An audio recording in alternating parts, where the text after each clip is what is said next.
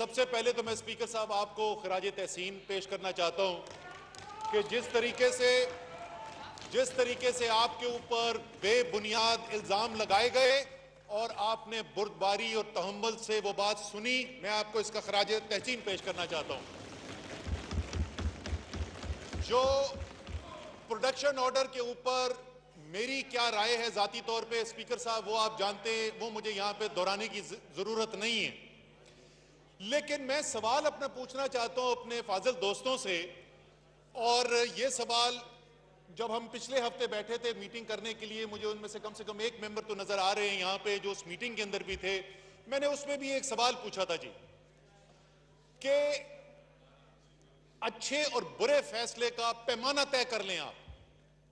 یا تو پیمانہ یہ ہے کہ رولز کیا کہتے ہیں، اور یا پیمانہ یہ ہے کہ ماضی کی پریکٹس کیا تھی؟ جب آپ کا فائدہ ہوتا ہے، تو آپ کہتے ہیں رول کے اندر لکھا ہوا تھا، اس لیے کرنا چاہیے۔ جب آپ کو وہ رول پسند نہیں آتا، تو آپ کہتے ہیں لیکن ماضی کی پریکٹس جو تھی، اس کو دیکھ لیں، اس کے اندر یہ ہوتا تھا۔ یہ دونوں طرف نہیں ہو سکتا سپیکر صاحب۔ یہ جمہوریت کا دورہ معیار جو اپوزیشن آپ پر دباؤ ڈال کر چاہتی ہے کہ آپ اس کو فالو کریں، یہ مجھے یقین ہے، مجھے یہ کہنے کی ضرورت نہیں، مجھے یقین ہے کہ آپ قانون کے اوپر اور انصاف کے اوپر عمل کریں گے، آپ کی بائیس سال، تیئیس سال کی سیاست ہی انصاف کے لیے ہے۔ لیکن یہ جو بات کر رہے ہیں، یہ بالکل دور معیار کی بات کر رہے ہیں۔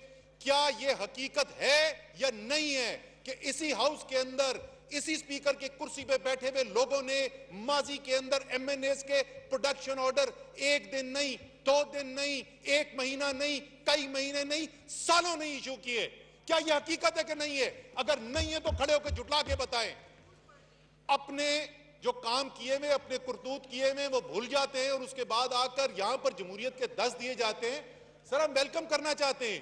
دوسری چیز جو میں کہنا چاہتا ہوں، کہ انہوں نے بات کی کہ کورٹ نے کہا ہے کہ میرے حلقے کی نمائندگی کرنے کا حق ہے۔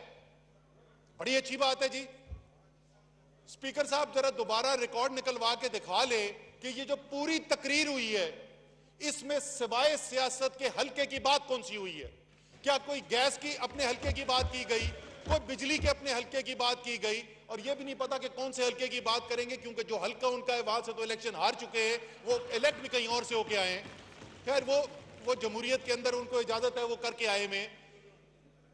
سر، میں آپ کو ایک دفعہ پھر یقین دہانی کراتا ہوں کہ آپ جو فیصلے کرتے ہیں، اپنی کرسی کی توقیر کو دیکھتے ہوئے، انصاف پہ اوپر مبنی فیصلے کرتے ہیں، جو ان فیصلوں کی سپورٹ کرنے کے لیے حکومت کی طرف سے آپ کو مدد کی اگر ضرورت پڑتی ہے، ہم اس کے لیے حاضر ہیں اور آپ کو پتا ہے، پہلے بھی کیا، انشاءاللہ پہلے بھی رہیں گے۔ زبردست کام کر رہے ہیں، بہترین فیصلے کر رہے ہیں، انصاف پر مبنی فیصلے کر رہے ہیں اور یہ دوری جو جمہوریت کروانا چاہتے ہیں، یہ کسی زور پہ ہم قبول نہیں کریں گے۔ جی سبھی رفیق صاحب ایک منٹ۔ جی, جی، سر رفیق صاحب پلیز جناب، مجھے ایک سیکنڈ اجازت دے دیں، میں جناب اسپیکر ابھی شاہد خاکان عباسی صاحب نے اور محترم انہوں نے دوسرے میرے دوست نے بھی بات کی ہے۔ میں بھی اس سارے عمل میں سے گزر رہا ہوں۔ ایک سال سے تقریب، پورا ایک سال ہو گیا ہے۔ میں اس میں جو گزارش، مجھے پتہ ہے، آپ کے کردار کے بارے میں بھی اندازہ ہے۔ مجھے پرویز خٹک صاحب کی، جو انہوں نے ایک پازیٹیوٹی کریٹ کرنے کی کوشش کی ہے، صلاح الدین ڈوگر صاحب بیٹھے ہیں۔ سوری میں ہمیشہ والد صاحب عامر ڈوگر صاحب بیٹھے ہیں۔ بہت سارے دوستوں نے جو ڈیوائڈ کے اس طرف ہیں اور جو سیاست کو سمجھتے ہیں، انہوں نے اپنا مثبت کردار ادا کرنے کی کوشش کی۔ ایون چودھری پرویز علائی صاحب سے ہمارا سیاسی اختلاف ہے، انہوں نے بھی کوشش کی۔ پنجاب اسمبلی میں پروڈکشن آرڈر جاری کیے۔ لیکن میں آپ کی خدمت میں جو گزارش کرنا چاہتا ہوں، جناب اسپیکر، مجھے آپ کی توجہ حاصل ہے؟ مہربانی جو آپ کی ذاتی ایفرٹ ہے، مجھے اس کا بھی اندازہ ہے۔ شاید صاحب میرے ساتھی ہیں آنریبل پارلیمنٹیرین ہیں۔ ایک تو گزارش یہ ہے کہ جہاں رکاوٹ آتی ہے، وہ میں نام لوں گا، دوست ناراض ہوں گے۔ رکاوٹ بھی ہمارے اپنے ہاں ہی آتی ہے۔ میں ذکر نہیں کرتا تھا کہ کوئی تلخی پیدا نہ ہو۔ جب ڈپٹی سپیکر صاحب کے خلاف وڈرال ہوئی، ایک سیٹلمنٹ ہوئی۔ سب لوگ آپس میں بیٹھے، ہم تو جیل میں تھے۔ تو آپ نے پروڈکشن آرڈرز جاری کیے گورنمنٹ نے کمٹ کیا۔ آپ خود جانتے ہیں جناب کہ آپ کے جاری کردہ پروڈکشن آرڈرز جو تھے، وہ امپلیمنٹ نہیں ہوئے۔ اچھا اب اگر وہ میں ذمہ داری پنجاب گورنمنٹ میں عائد کروں تو میں غلط بیانی کروں گا۔ میرا خیال ہے مجھے غلط بیانی نہیں کرنی چاہیے۔ وہ جو کچھ ہوا، وہ سینٹر میں ہوا۔ میں پھر نام نہیں لے رہا، آپ کو بھی پتا ہے، باقی دوستوں کو بھی پتا ہے۔ کہاں رکاوٹ ڈالی جاتی ہے؟ میری استدا یہ ہے کہ آپ آنریبل سپیکر ہیں اور سپیکر کی چیئر جو ہے وہ ایک معزز ترین چیئر ہے۔ جب آپ پروڈکشن آرڈر جاری کر دیں تو پھر اگر کوئی ہم سے ناراض ہے، کسی کو ہماری شکل اچھی نہیں لگتی، تو بھلے سے وہ ناراض رہے، لیکن آپ کے جو احکامات ہیں، ان کو پھر سب کو فالو کرنا چاہیے، ایک بات۔ دوسری میری سر استدعا یہ ہے، رانا ثناء اللہ خان ان پر جو بھی الزام لگایا گیا ہے، اس کی جو بھی صداقت ہے، جھوٹ ہے، میں اس کی بحث میں بھی اس وقت نہیں جا رہا۔ دیکھیں، ہم لوکل باڈیز کے ممبران نہیں ہیں، یہاں کہا گیا ہلکے کی بات نہیں کرتے۔ ہم قومی اسمبلی کے لیے منتخب ہو کے آتے ہیں۔ قومی اسمبلی کے لیے جب آپ الیکٹ ہو کے آتے ہیں، تو آپ قومی سطح کی بات بھی کرتے ہیں، ہلکے کی بات بھی کرتے ہیں۔ لیکن آپ کس طرح کسی کو اس کے ہلکا نیابت کی نمائندگی سے کوئی محروم نہیں کر سکتا۔ تو میں نے بات کو تلخ انداز میں نہیں کیا۔ مجھے اس لیے زیادہ میں کہہ رہا ہوں کہ میں زیادہ بار آیا ہوں یہاں پہ۔ مجھے اندازہ ہے، جو ایفرٹس کی گئی ہیں آپ کے آفس کی جانب سے، ادھر سے بعض دوستوں نے بڑی مخلصانہ کوشش کی۔ بعض ایسے بھی دوست تھے جنہوں نے کہا، نہیں، آنے نہیں دینا اپنے لیڈر کو۔ وہ بھی ان دوستوں کو بھی ہمیں جان دیا نہیں کہ ہم آواز سنتے نہیں ہیں۔ ان سے گلا کوئی نہیں ہے۔ وقت آتے رہتے ہیں۔ اور یہ کوئی پرسنل آبلیگیشن نہیں ہے حضور۔ اس لیے کہ یہ ایک روایت رہی ہے۔ اور جو آج ہمارے ساتھ ہو رہا ہے، خدا نہ کرے کسی اور کے ساتھ ہو۔ لیکن یہاں سب کے ساتھ باری باری ہوا ہے۔ وہ بھی بھگت بیٹھے ہیں، ہم بھی بھگت بیٹھے ہیں۔ اللہ نہ کرے کہ آپ بھگتے ہیں، لیکن آپ پولیٹیکل اگر لوگ ہیں، جو آپ میں بہت سارے لوگ ہیں، تو یہ کام بند کروائیں۔ اور اگر کسی کو ہماری شکلیں اچھی نہیں لگتی، تو ہم نہ لگیں۔ سیاست میں مقابلہ کریں۔ تو میں آپ سے درخواست کروں گا اپنی بات کو سمیٹتے ہوئے۔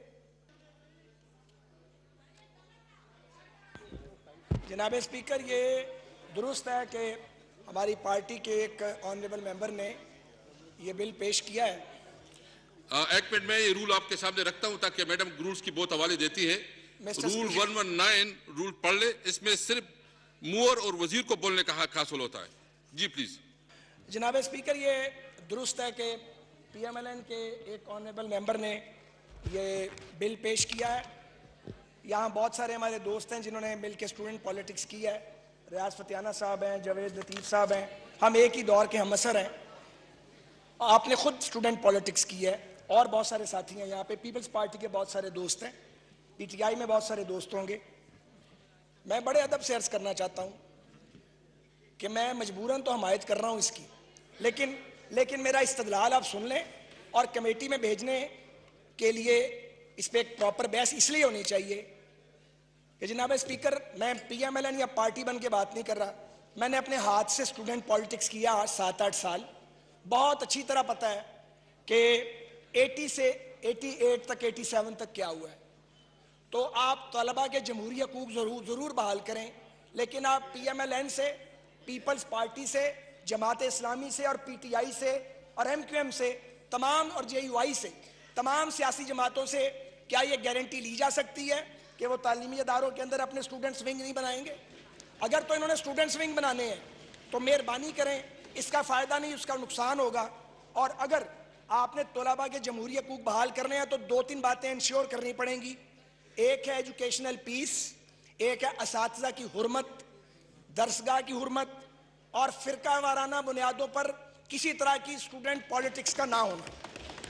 میں مختصر ترین گزارش یہ کروں گا کہ اس مقدس ایوان میں پاکستان کی سبھی سیاسی جماعتیں اس بات کی گارنٹی کریں کہ اگر طلباء کے جمہوری حقوق بحال کیے جاتے ہیں تو وہ اپنے اسٹوڈنٹس ونگز پیش نہیں کریں گی۔ میرا آخری خدشہ یہ ہے، جو شاید کسی کو اچھا نہ لگے، کہ ہم بڈھے سیاستدان ہو گئے ہیں۔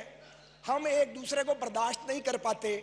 ہم اٹھارہ انیس سال کے لڑکے کے جمہوری حقوق بحال کرنے جا رہے ہیں۔ قادر پٹیل صاحب نے بڑی دھانسو سیاست کی ہے، وہ بھی ہنس رہے ہیں اس بات پہ۔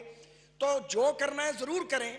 حقوق دیں، سوچ سمجھ کے سرٹن پیرامیٹرز کے تحت دیں۔ آنکھیں بند کر کے نہ دیں جی آ، علی اوان جی علی اوان اللہ من الشیطان الرجیم۔ بسم اللہ الرحمن الرحیم۔ تھینک یو اسپیکر صاحب۔